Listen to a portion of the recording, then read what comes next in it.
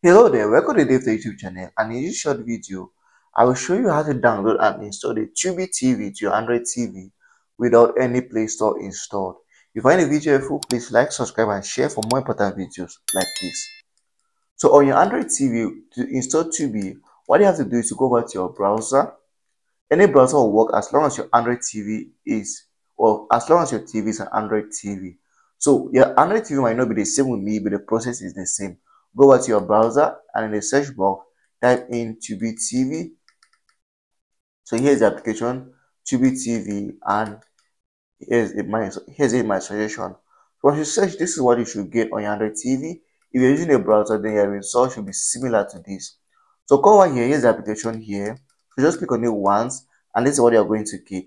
Now, if you live in a country where the application is available, because me, the application is not available in my country, and that's why it is said here that this item isn't available in my country and currently I am not using a VPN.